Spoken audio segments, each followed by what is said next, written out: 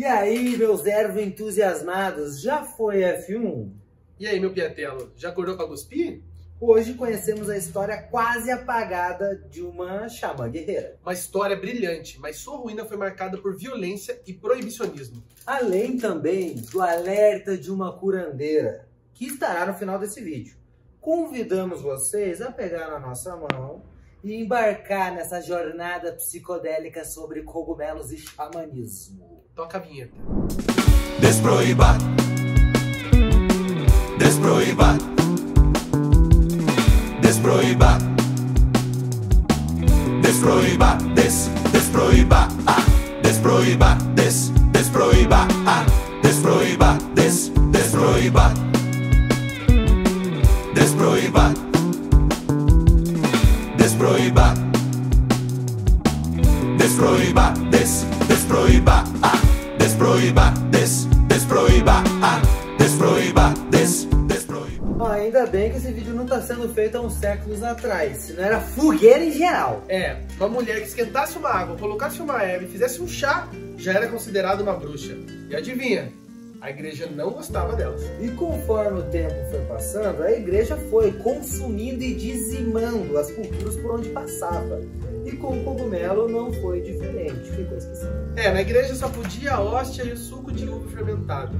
Mas pense, imagine um cogumelo com a capacidade de elevar a consciência humana ao divino, ao altíssimo, de uma forma que a oração deles jamais conseguiria. Isso assustava eles. Eles tinham medo de perder esse poder.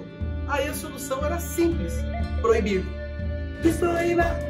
Mas ao passar dos séculos, ali em meados de 1900, no México, surge uma menina brilhante, destinada a ser uma guerreira xamã, uma curandeira que iria revolucionar o mundo. Nascida dia 22 de julho de 1894, em um vilarejo muito distante de qualquer outra cidade, ela recebeu seu chamado muito cedo. Isso porque ela comeu cogumelos com 6 anos de idade, num ritual para curar o tio. É, naquela época os curandeiros faziam com que os familiares utilizassem também dos cogumelos para poder entrar na mesma energia, na mesma vibração e entender o porquê que aquela pessoa estava tendo alguma enfermidade e até mesmo descobrir como curá-la.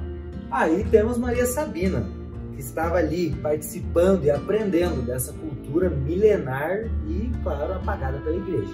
Com o passar do tempo, a irmã de Maria Sabina ficou ruim, diversas dores, então sem dinheiro, sem acesso, sem remédio, sem nada, tinha que fazer o que dava, né? Ou melhor, o que a natureza dá. E agora se liga nessa doideira que eu vou te contar. A Maria Sabina, vendo a situação crítica da sua irmã, ali na hora do ritual, entregou apenas três cogumelos e consumiu uma quantia muito maior para performar todo o ritual medicinal.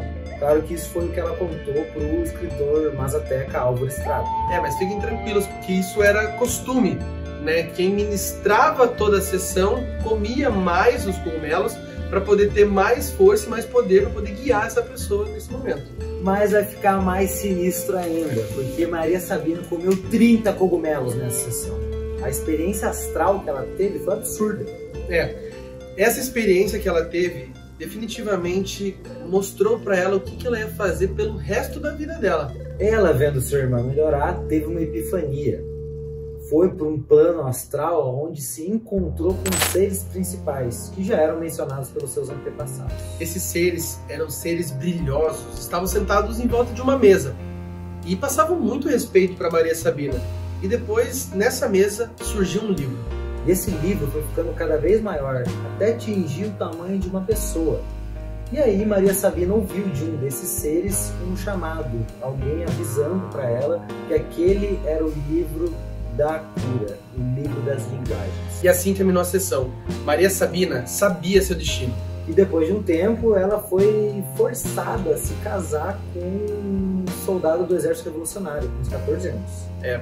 Um ano depois, ela teve um filho e no total foram três filhos com esse soldado. Mas ela não teve um casamento muito legal porque foi um casamento arranjado e ela ficou viúva em 1914. Aí ela foi vivendo como curandeira até a chegada de Robert Gordon Wasson, um europeu que ia bagunçar mais uma vez a rotina latina. Ele era autor, pesquisador de etnobotânica, botânica e antropologia. Ele chegou em meados dos anos 50 lá no México para conhecer Maria Sabina. Só que quando ele conheceu ela, ele tornou ela muito famosa. E essa é a parte que ferra tudo, porque Maria Sabina não queria nada dessa forma. Seu objetivo de vida era compartilhar da, da sua experiência com os cogumelos e curar pessoas. Isso acabou trazendo turistas que queriam ir lá apenas para tirar onda com os cogumelos. Não, mas o pior foi quando chegou aos olhos do governo e extremistas cristãos que olhavam para ela com um olhar de, sei lá, uma drogada traficante. Essa fama trouxe algo que ela não queria de jeito nenhum, que era violência. Chegaram a incendiar uma vez a casa dela. Pois é, teve uma vez que um bêbado assassinou seu filho bem ensinador dessa mãe. Enquanto tudo isso acontecia, Robert Gordon era conhecido como o descobridor das medicinas dos cogumelos. E Maria Sabina era vista como uma impostora que entregou os seus segredos a um forasteiro. O final da vida de Maria Sabina foi triste, pobre e ela sofreu com o proibicionismo. Por isso é necessário ter uma reparação histórica pela expropriação dos cogumelos das comunidades indígenas, como disse o investigador Osiris Garcia Cerqueira. E agora fiquem com um poema de uma xamã guerreira, um chamado, um alerta de uma curandeira, recitado pela nossa querida amiga Esther, a Infercanábica. Cure-se com a luz do sol e os raios da lua, ao som do rio e da cascata, com o balanço do mar e o bajulamento dos pássaros. Cure-se com a menta amargosa e eucalipto. Adoce com lavanda, alecrim e camomila Abrace-se com feijão de cacau e uma pitada de canela. Coloque amor no chá em vez de açúcar e beba olhando as estrelas.